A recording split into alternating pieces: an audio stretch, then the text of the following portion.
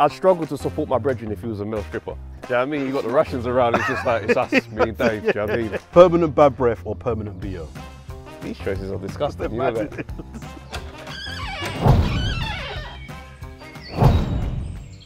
Travis Jay, welcome to Comics in the Field. Going on, fam? You are the comic, this is the field. I know that. We are here. It's a bit of an unusual setting, but Very, we're, bro, We're, lad. we're trying something. We're trying something. What do you think?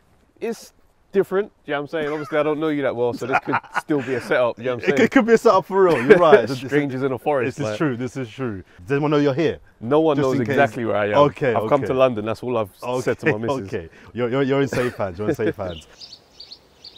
You ever have those things where it's like, obviously, whilst we're in the UK, we keep to ourselves, innit? But Yes. the minute you go abroad, you hear like a British accent somewhere else. You just become friends. yeah, you do. Yeah. I don't like Dave. all that. Yeah, all of a Dave. sudden now you lot are alliance. Do you know what I mean? You got the Russians around. It's just like it's us, me and Dave. Do you know what I mean? Talk me through what made you want to go into a craft that walks into a, a room full of, of people who are saying but not saying, make me laugh. I know it's it's it's a what very, kind of madness is that? it's a warped thing to want to do. It's weird though, because like my my way into the game has been quite different. So my mum's a stand-up comic, right? Yes. Angie Le Mar, Yes. and you know she's one of the pioneers of Mhm. UK comedy. Grew up on your mum. Exactly. So I've grown up around comedy like in a different way. Like my parents, they're not really heavy on the babysitter thing. Okay. So I was at shows. okay. Okay. Okay. from from little. I was backstage. Do you know what I mean? So it's like when I when I became a comic myself and I see guys like Curtis Walker and Yes. Felix Dexter and these Legends, guys, bro. they're not looking at me like, oh, new comic. They're like, oh right, look how tall you're getting. You look like your dad. Yeah, yeah, yeah. like family. You know yeah, what I mean? Yeah. exactly. So, because it was always around me, it's that thing of like you know nature versus nurture, Mm-hmm. where it's like, okay, am I doing this because I just love comedy for no reason, or am I doing this because it's in my literal Mm-hmm. genetics? So I've never really been able to nail it down, but I just knew that once I went to a comedy club as an adult, there was that feeling like I can I can do that. What was the worst gig you ever did? So basically, I've won a competition, and the prize was to perform at Camden Centre. So I was gassed. I get out there, all my jokes, which I believe are the killers, Yes. they're not landing.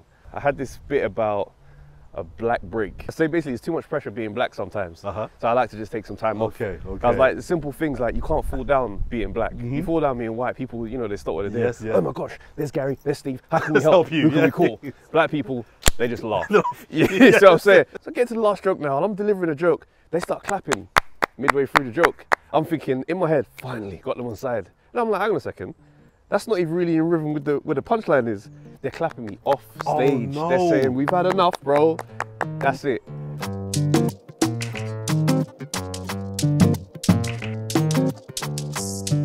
But by ducks. When was the last time you saw ducks? I know that you're you're, you're in country now. yeah, not you're out of that, not that long ago, to be honest. Last time I saw duck was in a rap. It was In a rap? last week. No, Western duck rap thing. oh, no, bro. This I'm ain't the time. I'm just saying it. Sorry, guys, Last don't- time I saw that's a crazy. duck, Don't- you're one gonna of your let him hate brethren, one of your brethren, goes, it tastes nice, tastes good, tastes good, decent still. Shift him up, I boy. did, man. Tastes nice, tastes nice. What do you think about some people that think there are some things you just can't make funny out of? No, I think it's all in the approach. It's all in the approach because you get some comics that just want to piss people off. Hmm. If my intentions are pure, it will connect. You'll feel me when I'm on stage because I hmm. try to be as transparent as possible. Hmm. Do you know what I mean? Whereas you get comics who, ah, you're just saying that to try and piss off a certain group, and now you want the response, and now you're the victim, and you can't say anything, freedom of speech. And it's like you can see the game. Mm-hmm. Whereas with me, I'm like, bro, if I feel like I want to talk about this thing, I'm gonna put it out in such a way you'll know I'm not here to just piss people off. I might be curious about something and talk my way through it. Mm-hmm. I've had moments where there's people in the audience from different demographics, like really different way of life. And now it's just like, okay, I've got some questions. Mm-hmm. Do you know what I'm saying? And we mm-hmm. can talk. Do you know what I mean? So that's why I'm like, I don't really feel like anything's off the table. Just don't be a dickhead, innit? A couple years ago, I supported Dave Chappelle on tour. Vibes. Thank you, thank you. Like, honestly, that was the best day of my life. The first day of that tour, best day of my life. And I say that as a man that has kids.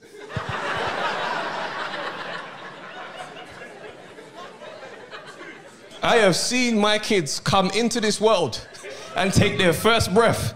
Wasn't my favorite day.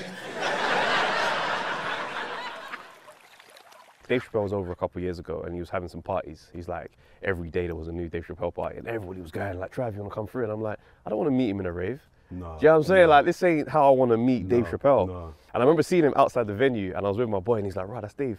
And I just walked straight past him. Because I was like, Not on the stage, yeah, on the stage, Yeah, bro. This is where it's gonna yeah, happen. yeah. So I do my set, and I'm out of my mind this night. There's something about him being there. I was cooking. So anyway, he's hosting, and he takes the mic off me, and I'll never forget. He brings me like this, and he's like, "Man hugs," and he pulls me, and he's like, "You fucking killed it." I love that. And brother, I'm walking off stage, gassed. I could have floated backstage. I was absolutely. So then afterwards, now we're all on stage. We're taking that picture, and Dave Chappelle's there, and I'm just like, "Oh, this is a moment." So I pull my phone out, and I'm just like, just trying to get a video of me just chatting to Dave. To, as I pull out the thing, he's just like, "He's amazing. He killed it." Yeah, It's yeah, like, yeah. nah, that's No, on no, video, no, bro. I'd struggle to support my brethren if he was a male stripper. Okay. So it's like if he was a rapper, yeah, and I he's on stage, that. yeah, even if he was rubbish, Donny could be on stage on some living my life, trying to be an MC, trying to get my education. I'd be like, yeah, bro, that's my do brother. your thing, you know I SoundCloud mean? support my brother. but if you're on stage and you're doing some stripper thing, bro, how you want me to back that? so, do you know what I mean? you do a podcast with KG. Yeah, yeah, yeah. Let's start with Travis Jay. Yep. Waste man. Yeah. I was gonna ask you- I gonna- I told him I was gonna cuss him. What's gonna- What's the most annoying thing about Travis? He's late, Okay. but then he's late, but he comes with like energy of everybody get locked in, bro. We've been building this set. Where the hell have you been? Nah, and he comes rocks like, like- he rocks up like, is everybody ready to work? Fam. And it's the way he talks in his car though. He's like, it's and you can hear the pause. Trav, where are you? Ah. so listen. imagine well, he- it's either so listen. Imagine, you know, it's a, know what's coming next? bro. Don't imagine. Just be on time. What's the most annoying thing about him? Oh, fam. Listen, yeah. This guy don't check his phone for nothing. Bro, his wife complains about the same thing. It's so jarring. You have to understand, yeah. There's so many moments where if he just answered his phone, Yes. he would have gained. Okay. Like we got the boxing podcast, right? We're working together on that. One time we did a video about Lennox Lewis, and he was going off talking crazy about Lennox Lewis. Lennox responded, posted it on Twitter. A mutual friend of his was somehow in the same hotel as Mike Tyson abroad, right? Mike Tyson phones KG to cuss him off about No what he way. said about Lennox. He missed the call. he Ends missed the call from Mike Tyson. He missed the call from Mike Tyson. Ended up getting a video recording of him. Leave Lennox Lewis alone. Like, but he could have spoken to Mike Tyson. Another thing I'm going to talk to you a little bit about is you mentioned that your your mum is Angie Le Mar. Yeah, yeah, yeah. I know you said that you'd go to shows with her. Yeah. But do you ever kind of reference jokes and sets with her, or or Oh. skits, or are you kind of separate Nah, it's, like it's, that? it's very separate. Like I wouldn't.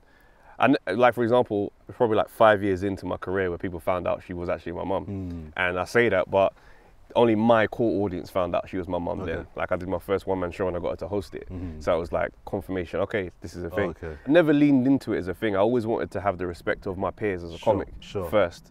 So like even my name, Travis Jay. Yeah, Le Mar, it yeah, doesn't link yeah, straight away.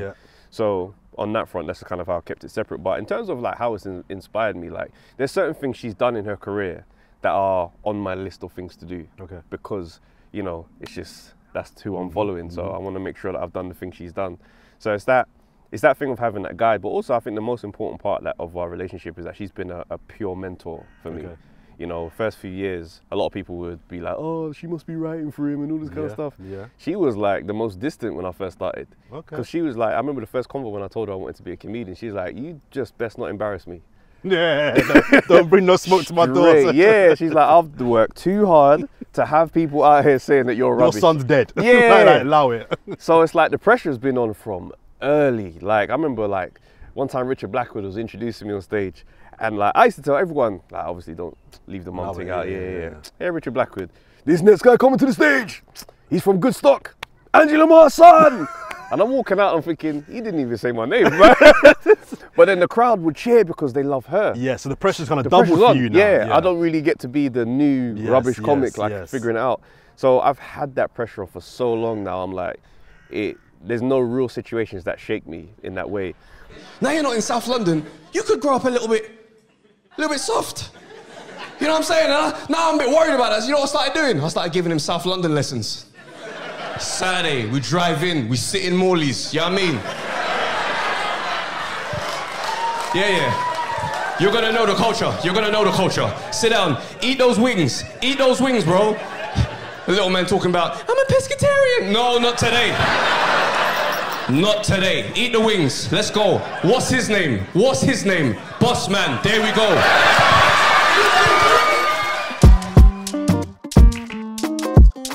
Would you rather party in Kingston or Joburg?